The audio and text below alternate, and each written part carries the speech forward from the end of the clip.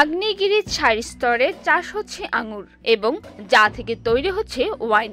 উনিশে এপ্রিল এক প্রতিবেদনে ব্রিটিশ সংবাদ মাধ্যম বিবিসি জানায়, ঘটনাটি হচ্ছে স্পেনের ল্যাঞ্জারোট দ্বীপের। আফ্রিকা থেকে মাত্র একশো সাতাশ কিলোমিটার দূরে ল্যাঞ্জারোট দ্বীপটি ক্যানারি দ্বীপপুঞ্জের পূর্ব দিকে অবস্থিত।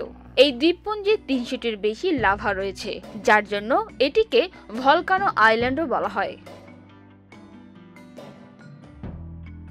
টিমান ফায়ার ন্যাশনাল পার্কের আগ্নেয় গিরিগুলো শেষবার আঠারোশো চব্বিশ সালে জ্বলে উঠেছিল।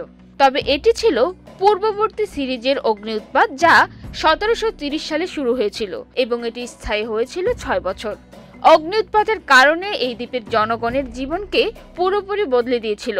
লাভার কারণে এলাকাটির এক চতুর্থাংশ গ্রাম ধ্বংস হয় এবং দুর্ভিক্ষের সৃষ্টি হয়। ফলে খাবারের সংকট দেখা দিলে দেশ ছাড়তে বাধ্য হয় তারা।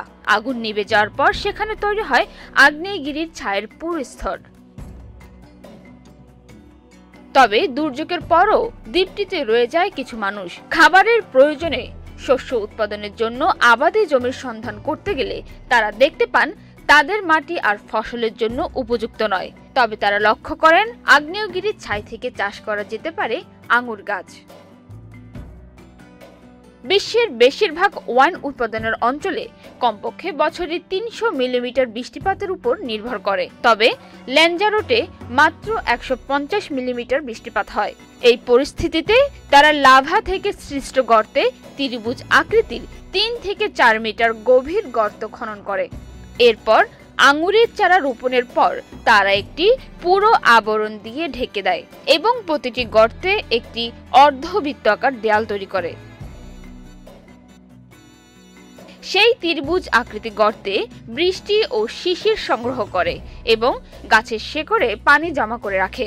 ফলে বাতাস থেকে আর্দ্রতা টেনে মাটিতে ধরে রাখে এবং তাপমাত্রা নিয়ন্ত্রণ করে। দেয়ালগুলো আঙুরের চারাগুলোকে বাতাস থেকে রক্ষা করে এবং গর্তে থাকা ঢালগুলোকে ক্ষয় এবং ধসে পড়া থেকে রক্ষা করে।